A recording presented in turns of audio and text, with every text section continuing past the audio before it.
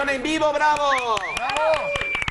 Doctora, su última participación de este año, Ay, doctora. imagínate. Y el fin del mundo. O sea, a mí me va a agarrar, ya se imaginan cómo. Que a usted la en orgasmo, en Bien orgasmo. divertida la doctora. Porque ya viene en negligé, guapísima la doctora. Todo listo, todo listo. Saltito de cama.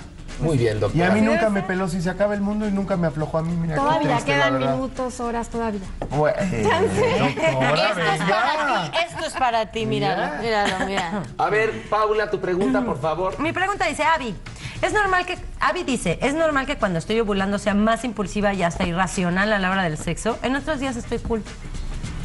Bueno, ¿sabes qué? Sí se ha visto una propensión estadísticamente en el Instituto Kinsey, sí eh, investigó que las mujeres durante la ovulación son más dadas a ser menos cuidadosas, más impulsivas, por ejemplo, eh, menos eh, exigentes con las parejas, como que pueden ser más dadas a one night stands, además a tener prácticas de algo riesgo, a no protegerse, a ser menos higiénicas, a consumir más alcohol y más drogas. Ahora, si esto ocurre, bueno, ya hay conocimiento de causa, ya hay aprendizaje y lo que toca es que sabiéndolo hay que, hay que cuidarse, ¿no? Tomar más precauciones y sabiendo que esos días vas a estar como, no sé, como lobo en celo, pues bueno, mejor te cuidas. Exacto, pero sí sube la libido. Sí, claro. Como sí, obviamente, en porque este, o sea, instintivamente estás buscando el apareamiento, ¿no?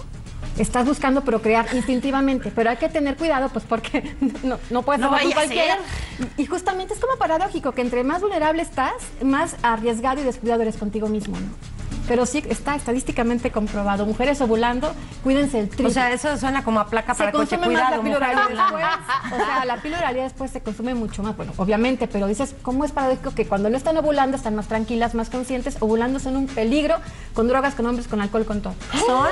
Suele O sea, ser. ¿Son? ¿Usted ya lo tiene controlado, O sea, doctora? estaban hablando como de 30-40% más casos. Yo voy a, a sacar uno, unas cositas para el coche que diga, cuidado, mujer ovulando. Exacto, exacto. Fíjate, No, es bueno. paradójico, porque además, si, si vas a procrear, pues cuidas a la pareja, Claro. te cuidas tú, etcétera, y es como paradójico.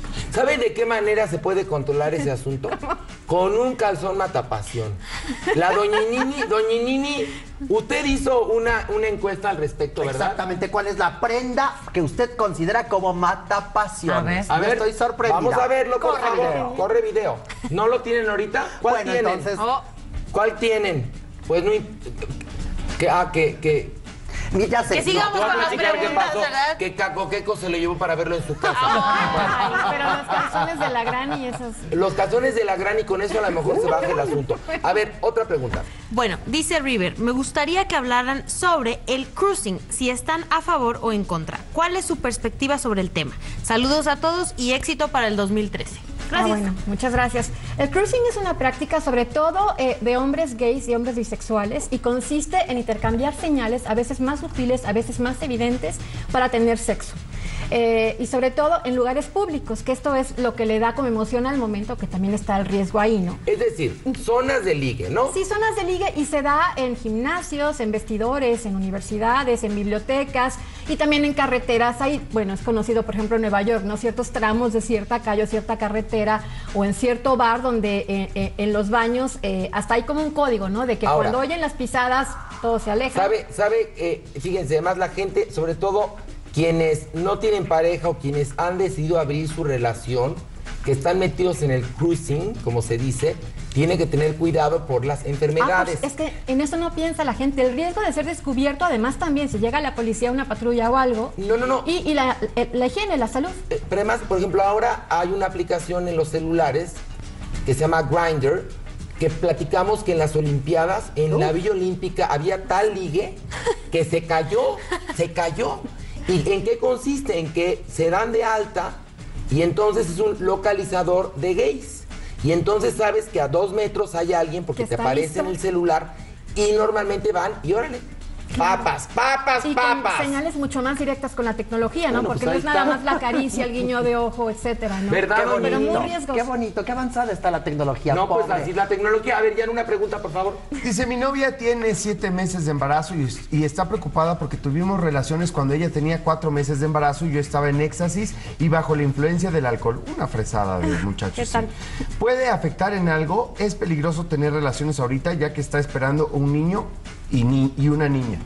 A O ver, sea, no entendí. Embarazo gemelar, yo creo, ¿no? Sí, sí, Pero sí. porque primero se la metieron y luego se la volvieron a meter. tres Pues yo creo, haz de cuenta como que ella, la chica está embarazada y él andaba en éxtasis, o sea, bien entachadote Y y, tomado. bien tomado y, y le dejó los mecánicos en el taller. está pre- y, está preocupado ya, y ya, y que afecta al niño y a la niña. Bueno, pues te lo tenía que decir para que lo entendiera. Ay, Mira, ahora sí entendí. Claro. Qué bueno. Más allá, porque si ella no fue la que consumió las sustancias, eh, me parece que más que un tema de riesgo en cuanto a salud de los niños es también de responsabilidad y de procuración, ¿no?